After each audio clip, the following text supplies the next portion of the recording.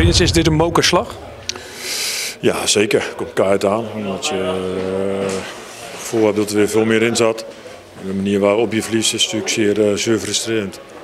Het was een ontzettend belangrijke wedstrijd die je eigenlijk moest winnen. Uh, daar zag het ook wel op een gegeven moment naar uit dat dat zou gaan gebeuren. Ja, dat ook eerst geval, eerste helft gevoel was best wel aardig in, wat goed voor elkaar. Uh, een paar kansen, we namen twee corners uh, waren we twee keer heel, heel gevaarlijk. Dan vlak naar dus maak ik een goede goal. nou, dat, dat, wordt een mooie middag. Ja, dan zie je nou toch dat we uh, naar achter, naar gaan lopen naar die goal. Dat is duidelijk met, met z'n allen. Dan krijg je zo'n geblokschot die in de 5 meter valt en uh, waar we slechts aan het verdedigen. Ja, pakken we ons alweer aardig, zeker de laatste keer. De, Vitesse zit een beetje erheen. Wij gaan beslissen met, met een paar kansen. Ja, en dan valt hij systematisch weer uit de corner tegen. Dus dat, dat is het verhaal van dit seizoen.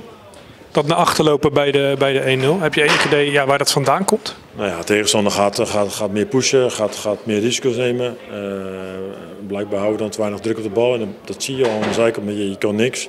Dus om naar voren te roepen, dan moet je dan even overleven, 10 minuutjes. En dat, dat, dat gebeurde niet. Is het dan ook dat het gewoon aan die kant ook tegen zit? Dat dit soort momenten dan ook gewoon vallen? Ja, aan de ene kant is het tegen. Omdat je ziet, uh, spelen best een goede wedstrijd. Ja, en ook, ook Widel en Jacobi. En bij twee momentjes als er net even minder uitzien, wordt het afgestraft. Dus dat zit in, uh, helaas in de, deze fase opgesloten bij ons. Nou, dat, dat is wel voor iedereen zeer frustrerend.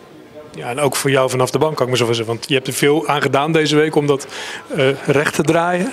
Ja, nee, klopt. Dat, en dat is heel dat is moeilijk van Dick Vark. Echt alles besproken, alles aan gedaan. Filmpjes gemaakt, op een andere manier aangevlogen. En dan, dan zie je dat je het goed voor elkaar hebt met, met z'n allen. Ja, en als je dan ziet hoe je, hoe je verliest, ja, word je stapelgek van.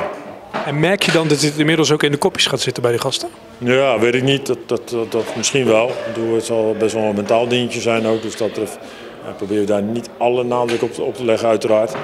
Maar ja, dat, dat zal dus misschien wel bij fases zo voelen, ja. Ja, want nu komt het erop aan, hoe draai je dit dan om? Ja, nou ja, aan de ene kant is er genoeg houvast in wedstrijden dat je denkt van ja, we spelen goed. Het is niet uh, dat we kansloos verliezen of dat we tactisch niet klopt of dat er geen bereidheid is van spelers.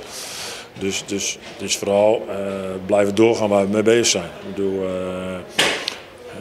we doen heel veel dingen goed, alleen ja, dat zie je niet terug in de uitslagen. Als je puur naar de uitslagen kijkt, denk je ja, vorige week hebben we aardig gespeeld, nu hebben we vrij goed gespeeld. Alleen ja, we kunnen onszelf niet belonen. Dus, uh, dus nog meedogenlozer zijn op de details. En voor de rest de dingen blijven doen die we nu ook goed doen.